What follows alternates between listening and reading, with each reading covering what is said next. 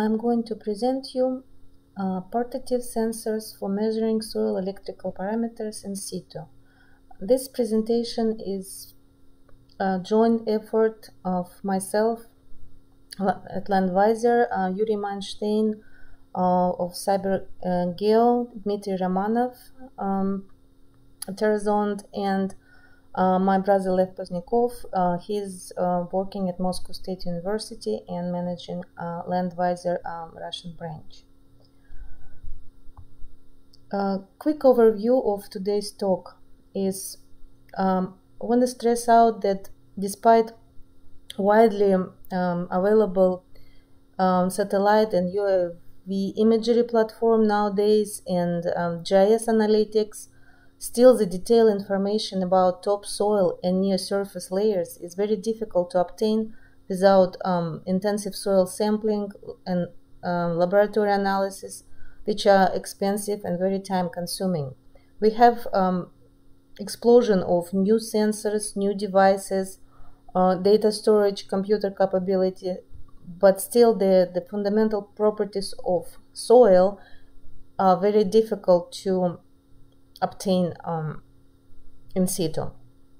Uh, also, well known that um, soil electrical properties, um, electrical resistivity, conductivity, and self potentials are really fundamental soil properties and directly related with salinity, texture, water and stone content, and other properties which are affected by density of uh, mobile electrical charges. Unlike other soil properties, electrical parameters can be easily, repeatedly, and reliably measured in situ in, in laboratory with different uh, geophysical instruments. And those parameters are really universal soil characteristic and very useful for mapping and monitoring. Um, this review is, uh, like I said, provided a very joint effort of uh, many partner companies um, and featured methods of um, direct current, resistivity, conductivity, or um, induced polarization, those uh, can be measured by um, Landmapper, which is um, in, uh, designed by me and sold by Landviser in USA, and um, electrical tomography measured uh, by Cyber ER, uh, by, by SiberGeo Estonia, uh, electromagnetic induction instruments, uh, uh, Geovizor and AEMP-14 by KB Electrometry Russia, and also um, 3D GPR, um, very efficient instrument by Terrazond. Um, the Geovizor um, IM14 and um, GPR, uh, also Cyber, uh, originally was originated from the um, Siberian branch of Russian Academy of Science in Novosibirsk. Um, and um, we've been partners since I think 2008 with them, and uh, kind of this whole work is made possible. And over the last 20 years, we've been continuing improving the instrument.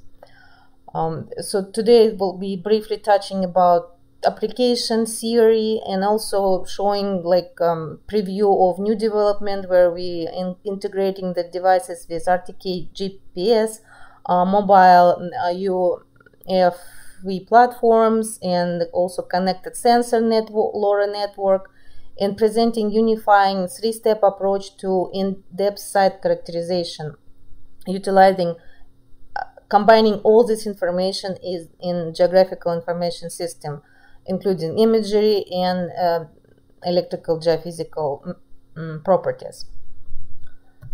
Um, the brief history how Landviser started. Um, uh, the, the work uh, measuring electrical uh, resistivity, conductivity of soil started by my father, Anatoly Pozdnyakov, way back in Russia, probably at the same time I was born. And uh, the whole family kind of following the footsteps of my dad.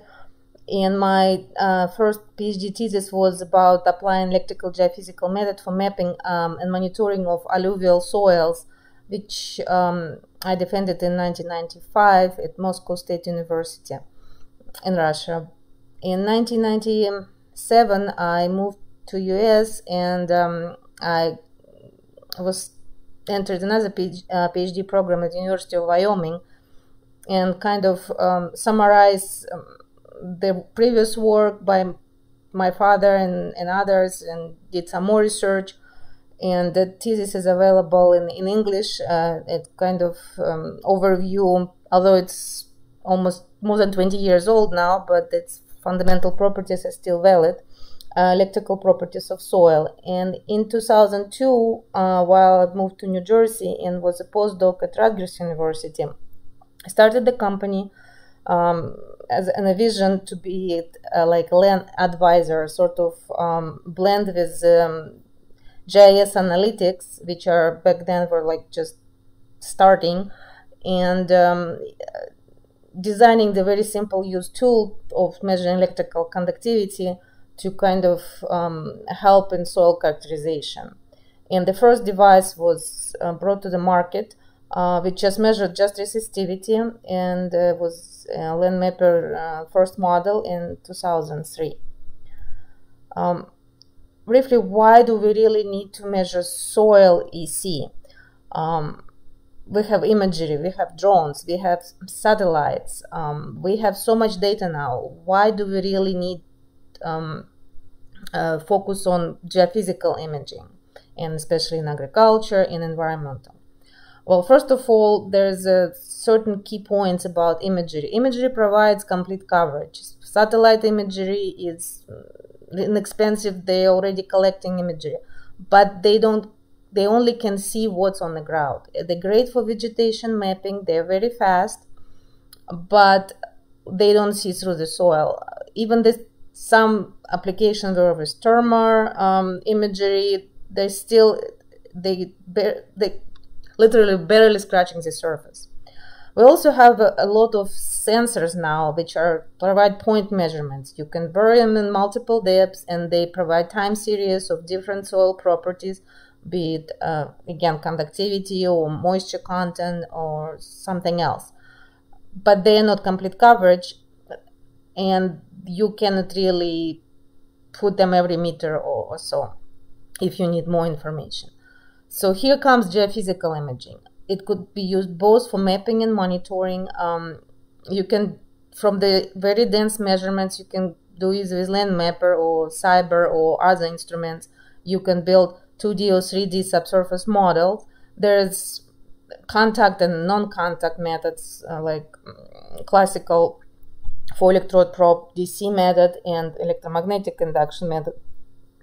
Those can be this instrument usually used on the ground. You can either work with them, right, some vehicle, or now we can. There's some attempts in with our group also to fly with them to put them on a drone, which I'll tell you later. Um, so, like I said, now sensors and instruments measuring some properties are very plentiful and they provide a lot of data. But I always want to stress out so data is not a knowledge. Uh, so to derive the useful knowledge actionable from data, we, we need that. We need the data, but which data are the best for which application? And we ultimately need the knowledge because knowledge is power. Now we can see that we can graph, um, and this is not really, um, it's a great idea. I stole it from a SlantRange um, company of drone company because well, satellites imagery available, but not sometimes not in the same time when you need it. So actionability could be very low. It's like ad hoc analysis. Manned aircraft still expensive. You have to hire. You have to people have to fly them. Drones have became increasingly available, getting cheaper. A lot of cameras integration. So most many people can fly them and use in research. Um, and then they're actually actionable data. Ground sensors are also very actionable, but like I said, you install them and you monitor and even uh, get like pings about if there's a need to irrigate, and there's plenty of companies who are doing just like that work. And of course, we still need human scouts, agronomists who go take samples, view what's happening with the crop, what's happening in in ecosystems. So actionability is you know, very person is right there, but um, there's limit to human res- human resources, people, uh, time. It's very hard work to be scouting fields, so we need technology. Now, if we compare satellite versus drone imagery, UAV imagery, UAV provide much higher resolution than satellite, of course, because they're closer to the ground. UAV sort of unaffected by cloud cover, but you cannot really fly when it's raining or other like high winds, so there is also drawback to it.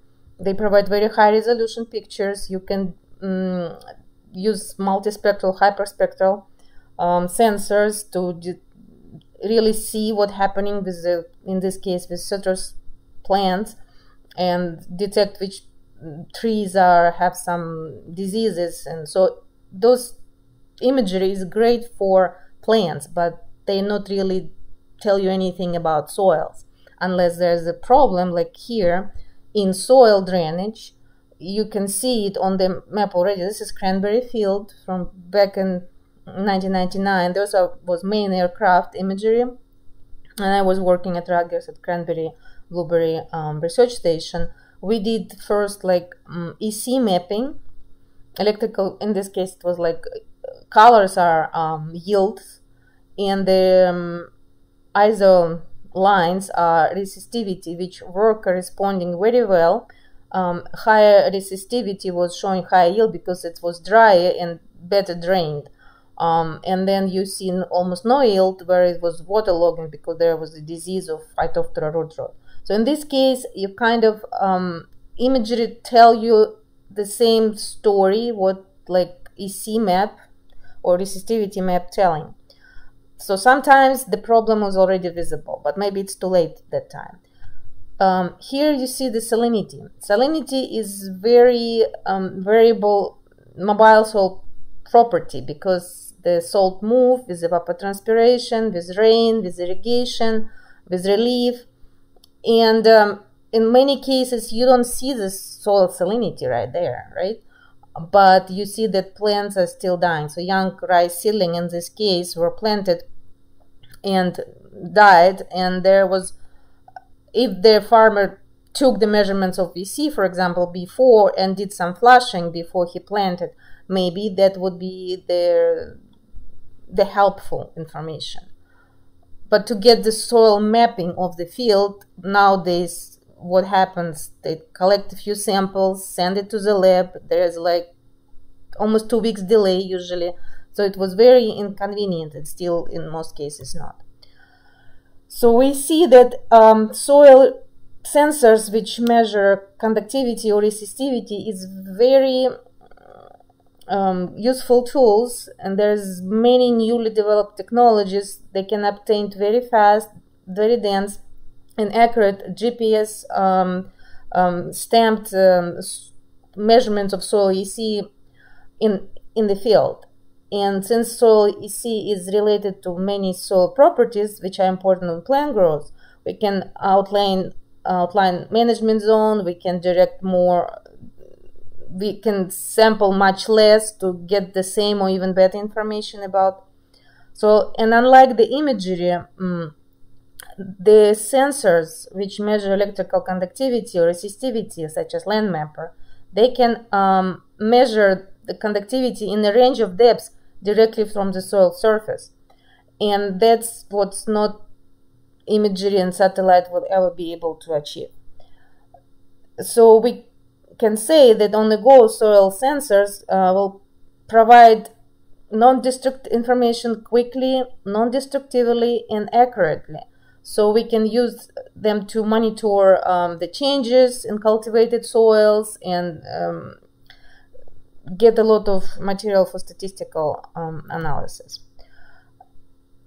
And then we can install on specific management zone, you can install different like stationary samples. They and also a lot of those samples like here, soil EC and temperature probe, they also measure electrical conductivity. The sap flow is measuring some difference in electrical conductivity.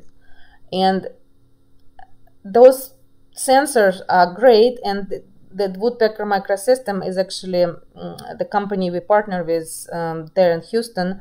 They develop very low cost connected network of all sensors. They set up LoRa network and then uh, feed this infor- information um, into their dashboards and actionable information is right there, they say, at farmers' uh, fingertips. We're now working with them to um, sort of co- in collaboration to do um, GIS dashboarding and maybe combine land mapper with them. We also know there's um, uh, classical four electrode um, big um, rigs measuring electrical conductivity in like one or two depths on the topsoil and rigged by USDA Salinity Lab and Veris technology was you know improving that uh, technique and being uh, used on many many acres around the world. Um, now in our case there are also EM instrument like EM uh, 14 ele- um, electromagnetic induction instrument um, which uh, measure uh, EC with a, at a range of depths because of different frequency. In this case, there's 14 frequencies and 14 depths. It's relatively heavy, but you don't have to ground any electrodes. You can walk anywhere and take very detailed um, profiles or maps of your field. Um, now, Landviser like started as really as an advisor although we partner with many many companies who provide high quality instrument to um, uh, map and monitor environmental resources soils or plants or groundwater. But we also figured out that users now are overwhelmed with technologies. There are so many of those sensors and it's sometimes for the end user is it very difficult to make sense what is useful what is can be applied, what information can be obtained with this particular sensor, with this particular instrument. So if you visit our site now, landviser.com, um, and scrolling a little bit down there, you can quickly fill the form and ask us um, which kind of instrument we can ad- advise you, what kind of approach, and we made it pretty simple three step approach to land surveying and monitoring. And what Landviser, as a service company, as a consulting company, will do for any client, big or small, big farmers, small farmer, county, um, ecological, ecological survey, or you know, ask us for some help. So first we do and we build a, a, web mapping dashboard for the for the area of the interest of the client. And last year, Landviser became an uh, bronze um, Esri partner uh, network. We joined the network and we uh, use um, Esri platform, um, ArcGIS platform to combine all those resources. We will gather all available soil maps, land use maps, satellite imagery, um, some climate variables as well. Um, and then the the rest of this talk, I'll just show how just just with Landmapper, if they, um, they if they desire, they can stop right there. We just provide the geographical information already available. If they want a more detailed measurement of soil electrical properties, there is an approach to use just Landmapper and how to, and that's what I'll tell later in this talk. But then also what behind um, beyond the three steps, we can also Landviser can provide the live tracking of weather and some public risk, um, anything geog- geography related and available from the public sources, or if we install this in partnership with um, hmm, with a microsystem, we can also build in this dashboard the time series of this uh, of the soil sensors and we can also we partner with um, AirData um, it's a drone imagery company and Xilio which is a drone spraying company. So those companies we can connect you with them and um, they provide very good information but we also help um, our we partner with them so they they collect the information we making sense out of it so to speak and then um, the seventh if there's like some deep um, geophysical survey requested to monitor contamination plumes, uh, dam stability, uh, assessment for sinkholes, quicksand, all kind of more deeper geological surveying. Then we have instruments uh, for saline for rental or cyber. Uh, we can um, IM14, uh, the Terrazonde. Um, those are Yuri Manstein is presenting now uh, today with me as well. So you can ask him questions directly.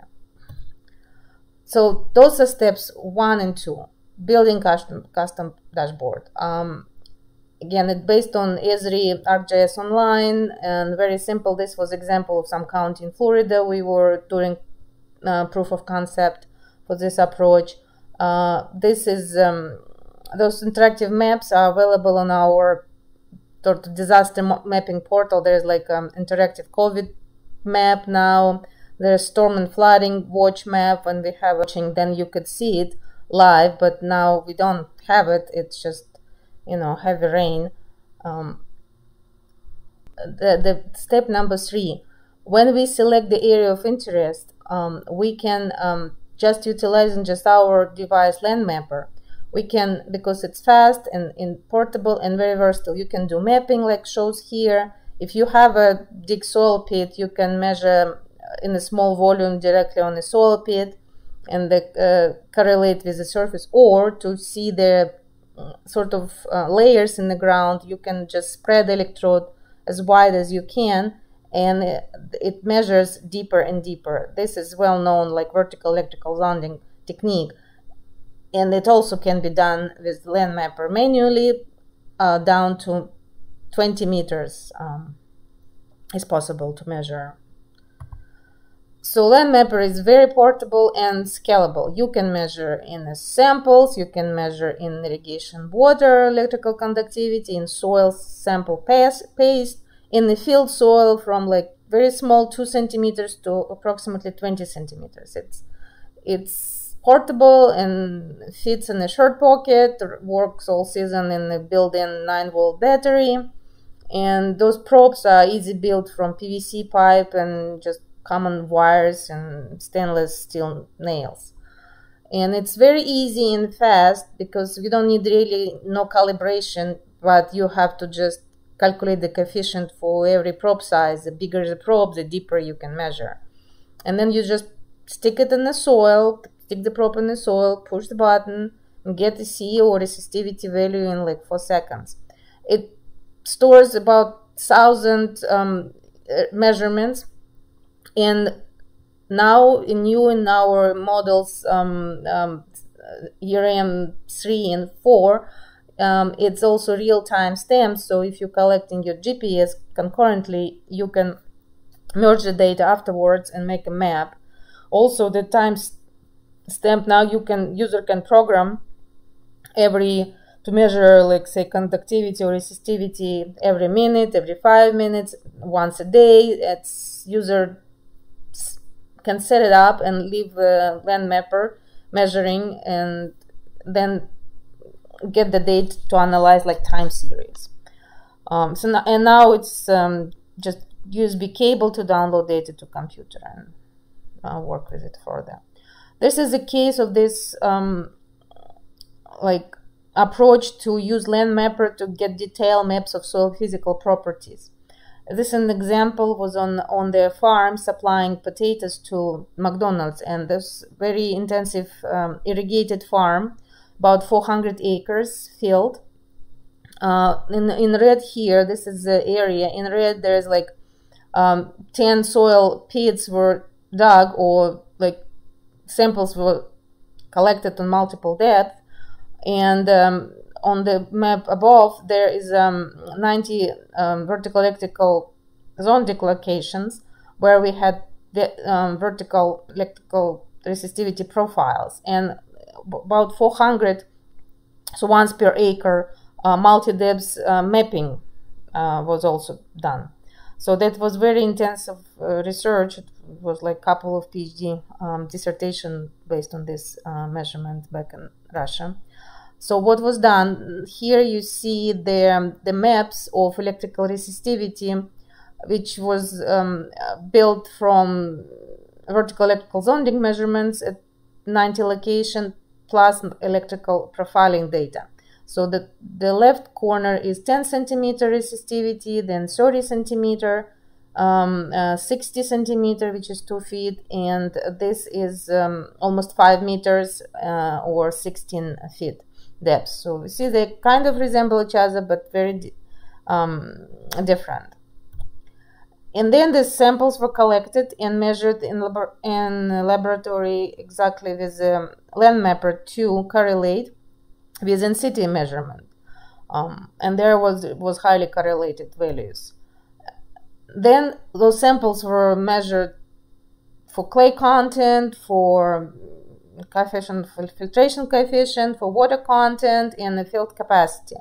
And the, the relationship between resistivity and those properties is exponential, which is because those properties are influencing um, density of mobile electrical charges. And by the Bol- Boltzmann law, this is you know very known relationship. It's been published over and over again, multiple studies, multiple soil properties, but they all um, relate to the resistivity or conductivity on ex- exponentially.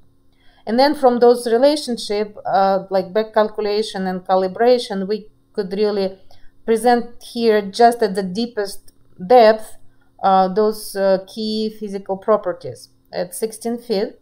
Um, not so complex approach of doing um, many hectares, very detailed soil mapping in multiple depths. Um, here's example of quick outlining of um, management zone and um, soil series on dairy farm in New Jersey on the left. Um, they correspond to the SSURGO soil maps. And on the right, we have a quick um, uh, outlining of or checking um, rice fields for salinity before planting. Uh, it's, it's the same farm I showed on the slide before.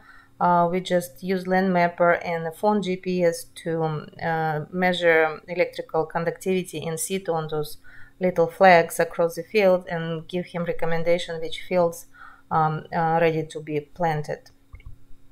Uh, if we want uh, more detailed information, um, 2D uh, or 3D electrical tomography, it's also possible with the Cyber instrument uh, which we distribute uh, here in US um, from Cyber Geo company. There are um, 32 electrodes, um, 48 electrode modification, and 64 electrodes. Um, also, we used um, the provide support and uh, sales and installation for those uh, cyber device with SiberGeo in Indonesia in 2014 and 2015 years. Here's just example again uh, around um, rice field in Indonesia. Um, and, and, we continue enlightening research through collaboration with different different uh, companies. Um, here's the example of uh, three company association. Uh, we got um, uh, Parsec grant uh, for business acceleration, um, combining um, ge- genomic plant genetics um, uh, instrument um, development and um, remote sensing, analytic inter- interaction, and precision agriculture. So the, the grant was um, uh, catchy name crop prediction take flight, uh, and we were integrating again genomics and geophysics. Uh, so the genomic part is done by Computomics in Germany, um, and SiberGeo do um, um, new instrument um, here on, on this grant, um, they have this Geovizor smaller version of uh, IMMP 14. It's lighter, so the octocopter drone could lift it up, and now they're doing calibration with that, and also developing even smallest sensor specific for the drone, and possibly in integrating Landmapper into the drone. Um, the whole grant is also kind of heavy in data analytic, um, machine learning. Like I was saying, the whole uh, presentation today, agriculture get a lot of new cool tools, a lot of data, and uh, genetic part is also tremendous amount of data available. But breeders still um, don't know how to utilize them all, and breeders keep collecting more data. Uh, and um, now this grant is uh, three company collaboration to um, analyze and um, use genotype information data, environmental Earth observation data, and improve the management to speed up developing new varieties which more adaptable to the climate change for different crop. And uh, we thank you for their attention. Please connect with us. Uh, bring bring your ideas. We are on LinkedIn. Uh, visit landviser.com or visit our LinkedIn page, and we're happy to connect and help with different research and development projects or problems you have maybe on your land. Thank you very much.